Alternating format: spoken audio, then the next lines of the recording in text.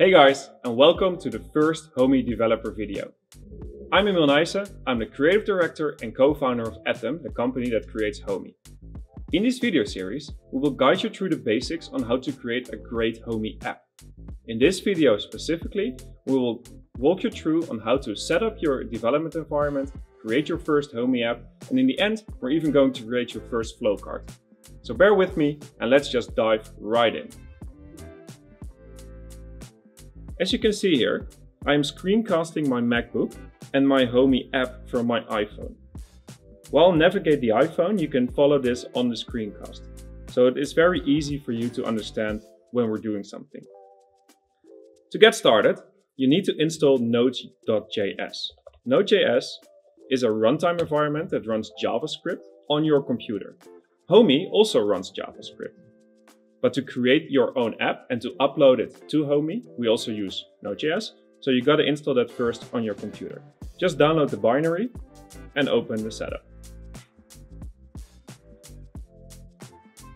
Now that you've installed Node.js on your computer, you can install it on Mac, Windows, or Linux. You have to open a terminal and run the following command npm, which stands for Node Package Manager. It's the package manager for Node.js. Install minus G. G stands for globally, so it is available not only in the current folder, but on your entire machine. Homey. Press enter, and Node.js will now download the Homey tools, or the developer tools to get you started, to your machine. This can take a few seconds, and then afterwards you run Homey login. This will open a browser window and will ask you to log in with your Homey account. Now pick the account that you've already connected to your Homey because you will be uploading an app to that Homey later on. For this video series, I've created a new account. It's called Emil Video and I'll select that. Now Homey CLI will ask you to uh, give permission to act on your behalf. Just press allow and now you're authorized. Once you go back to the terminal, you can now see that I'm logged in and now you can get started. If I type Homey list, just to give you a quick example, you can see here the Homey that's connected to my account. It's called my Homey Pro. It runs software version 6.0 and it is set to English and I'm the owner. Now you also see USB here. In case you are working on uh, very large apps, so let's say more than 20 megabytes, it might be useful to connect your Homey over USB to your machine. So by default it works by uploading your app over Wi-Fi, but if you want to really have that extra speed, you can just hook it up over USB and then Homey will present itself as a network device to your computer. Just a neat little trick we built in to make your app development go faster. Now let's create your first Homey app. So I'll navigate to my desktop folder and then I'll type the following command. Homey app create. And this will ask you a few questions about your app. So let's just walk through them together.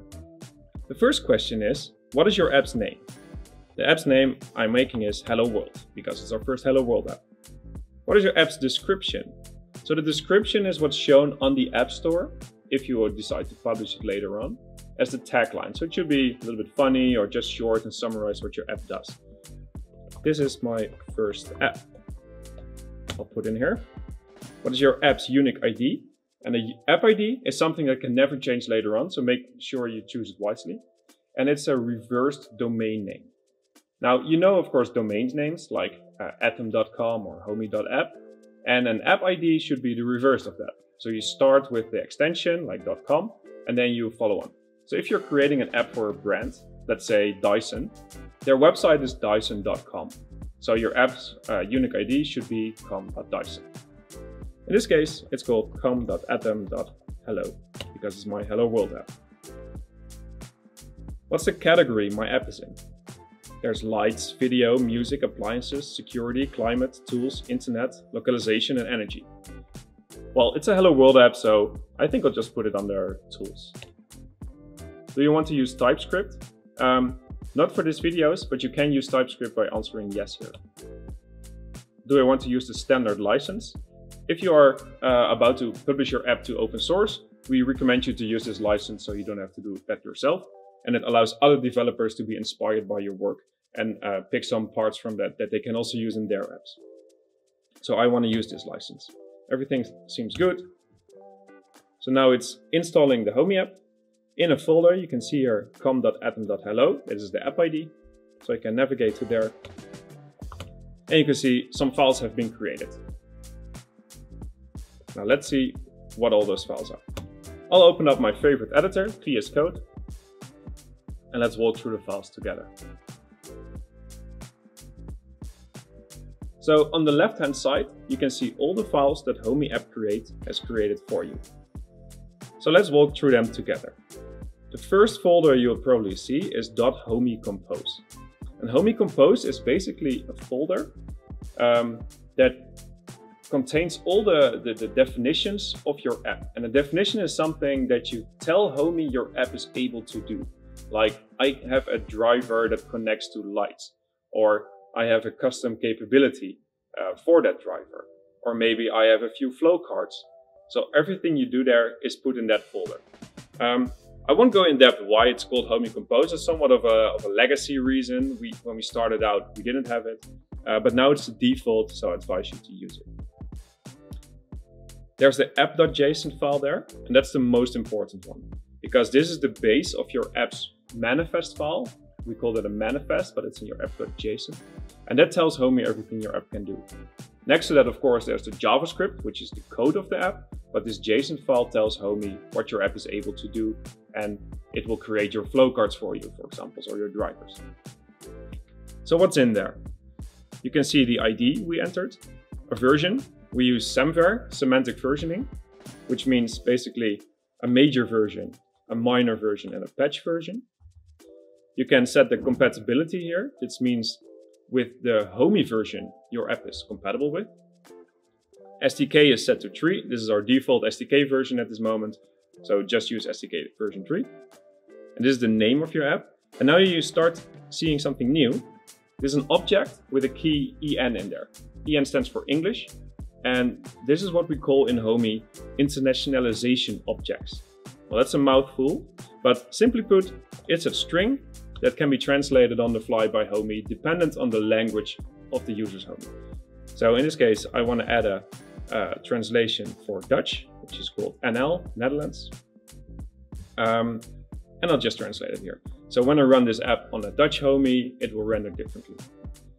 Here's the description again, also an internationalization object. Category we just selected. You can even put more categories in there, but we only use the first one for the App Store. There are permissions, we'll get into that uh, later on. And there are the images for your app. Uh, and these images refer to the file that you can find here.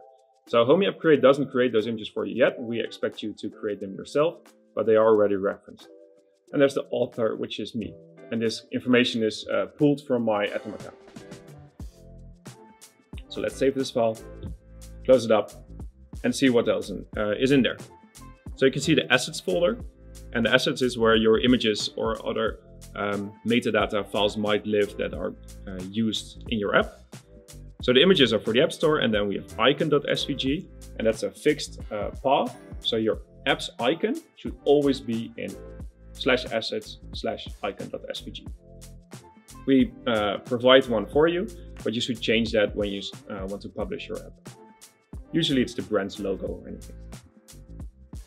There's a folder drivers, and drivers are the uh, things that connect to devices.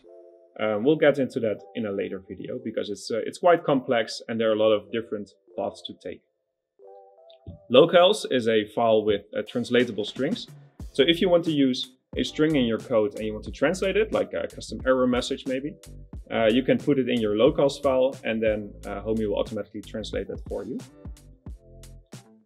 And then there are a few other files, like a, a gitignore file. We expect you to use git.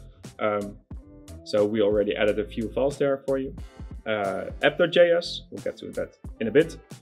Uh, app.json, and this is the compiled file uh, when running Homey uh, CLI. These are the license files. And then there is a readme.markdown. This is if you want to publish it to, let's say, GitHub uh, for other developers and readme.txt. And this is for the Homey App Store. You can put a nice description here, tell what the app does, um, and other customers will be able to see that. We also ship a package.json, so this is only for your own convenience. If you were to use Node.js modules, uh, then you know which modules you are using. We already added one for you. It's a types uh, Homey package, so you get auto-completion in the code editor um, when using the Homey SDK. Now let's dive into app.js, the first JavaScript file for your Homey app. So what you can see here is that we require Homey, which is a, a special module that contains the entire SDK your app can talk to. And uh, this, this module is available when running your app on Homey. So it's not available on your computer, um, so you can't run your app locally, but when you upload your app to Homey, uh, then this, this module becomes available. And we export in this file a class uh, that extends homey.app. It's a special class that we uh, created, let's say, for you, uh, that contains a few uh, functions that you can overload if you want to extend some functionalities.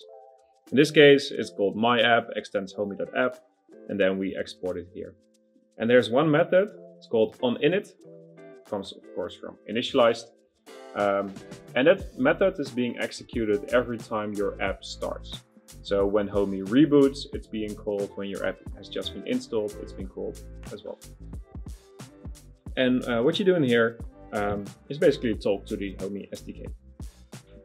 Now, let's just try to run this app. It doesn't do much. As you can see, it only log uh, my app has been in it, initialized. But let's see if it works. So what we do, we go back to the console and we type Homey select. So you can uh, select a Homey. No, I have one. I'll select that one and now I can type Homey app run. Now what will happen is that Homey CLI will um, build the app. So all the Homey compose files we were talking about earlier, they will be built together in an app.json file and all your other files like JavaScript and images, they will all be zipped and then uploaded to Homey. In this case over Wi-Fi, but as I said before, you can also do that over USB. Now that has all happened, and now you can see uh, that the app has been uh, installed on Homey. And the log that we showed before, like my app has been initialized, is now visible here. Now, when we go back to the Homey app, and we head over to more apps, you can see that the app has been installed and I can open it here. There are a few more options, of course, as you know from all the apps. I can restart it, I can uninstall it. And if I go back and I want to uh, stop debugging my app, I hit con Control C. It's the, the normal command in Linux to uh, basically exit uh, any program. And you saw that on Homey the app has been uninstalled and it has also been uninstalled here in the console. So that's how you run an app on Homey. But of course, it doesn't do so much yet. So let's try to uh, do something fun. Let's add our first flow card. To create your first flow card, you should go to your terminal and type the following command. Homey app flow create. Now you will ask a few questions. First question is, what is the type of your flow card? So a flow card can be either a when, an and, or a then card. And you probably know these already from using Homey yourself. So a when card is when something happens. For example, it starts raining. An and card is something that must be true at that time. So it is raining. And an action card is something that Homey can do for you, such as make it rain. Well, if you were able to do that, of course. In our case, we want to have an then card because we want to log something to the console. So what is the title of your flow card? We'll just call it log something to the console. Uh, a hint of a flow card is optional and you can type something to give the user uh, some more information about what your flow card does. In our case, um, our flow card is so simple it isn't uh, really needed. And what is the ID of your flow card? Well, Homey automatically suggests an ID uh, based on your title. And the ID is what you will refer to in your JavaScript um, when uh, running the flow. And the suggestion here, it's, uh, it's good. Uh, we do not want to use any arguments for this flow card, um, but an argument is something the user can fill in, like a text field, a dropdown, or a search field, etc. Everything seems good, and the flow card now has been created. Here in uh, the Homey compose folder slash flow slash actions. So now that we've added a card to the Homey app, let's run it and see what happens. So first I'll make sure you can see what's happening in the Homey app. And secondly, we open up the terminal again and we type Homey app run. And if all works well, you can see here that the flow card has been added to my app.json. Now let's head back, navigate to flow, create a new flow, and then select our new flow card. So under apps, you can see our Hello World app, and there it is. Log something to the console. Now to test it, uh, we should add a trigger first, and I always like to use this one, this flow started, because it allows you to start the flow from anywhere basically. Um, and now we hit test. And you can see a red triangle appears. Now why is that? If we tap it, you can see the message and it says flow card not registered. And that's correct because while the flow card is in the app.json, so Homey knows there is a flow card, there's no JavaScript attached to it yet. So what we need to do is stop the Homey app.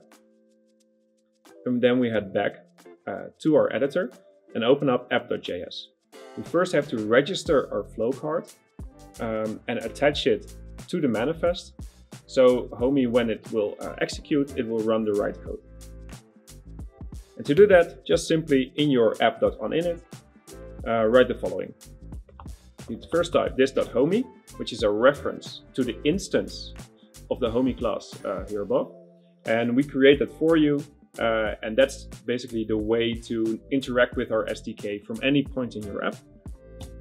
And then you type dot, and you can see the, the, the list is being auto-completed. And in our case, we want flow dot get action card. And the first argument of that is the ID of the action card. So let's see what the ID was again. Um, it's open here, log something to the console. We'll just put that in. And now this returns a reference to that action card in JavaScript. So that's step one. And step two is to register something we call a run listener, which is basically a function that is being called when your card is being run. Easy as that can be an async function. We recommend that actually. Um, and then you can create an anonymous uh, callback basically. And this, uh, what, whatever happens here is being executed when we run the flow card. So in our case, we want to log something. And we can do that by typing this.log. And this.log is very similar to console.log, which you might know from your other JavaScript um, adventures. But this.log uh, adds a few um, extra information to it in the console so you know where it came from. In this case, you can see that it came from homey.app. It's very useful when your app is growing uh, somewhat bigger. And now we just want to log hello world to the console. Now if you go back to the uh, CLI again, we type homey app run. The app is being installed. And now let's try this flow again. I'm hitting test. And now you can see in the console that my app logs hello world. And if we run test again in the flow, you can see that it is being logged again and again and again. So every time a user has created your a flow with your action card, then your app can then execute something. So logging something to the console is not useful for the user, of course, but you, you might be able to do something else here, like send a wireless message uh, over a, an antenna. Or you might um, maybe uh, control the LED ring of home. So there's, there are a lot of things you can do here, uh, and that's really up to you. And that concludes the first Homey developer video.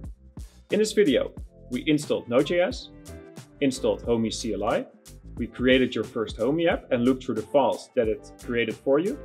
We ran your first Homey app, and then we added a flow card that logs something to the console. And from here on, there are so many more things you can do with the SDK. So it really depends on what you want to do next. If you want to add some support for smart devices, you should find a video that explains to you how to add support for a certain device. And that even might differ from the technology being used, like Zigbee or Z-Wave, or 430 MHz, maybe infrared or Wi-Fi. If you want to just add flow cards for an internet service, there's another video for that. So from here on, good luck on your journey creating a great Homey app.